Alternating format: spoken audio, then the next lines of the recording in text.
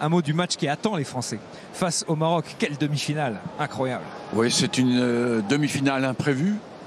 Et euh, ce Maroc nous a étonnés parce qu'ils ont quand même éliminé des équipes extraordinaires. Ils ont éliminé l'Espagne et euh, on les a Et le encore. Portugal ce soir. Et le Portugal qui, a- qui venait de faire un match époustouflant.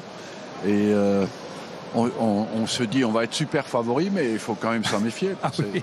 Ils n'ont pas sorti n'importe qui.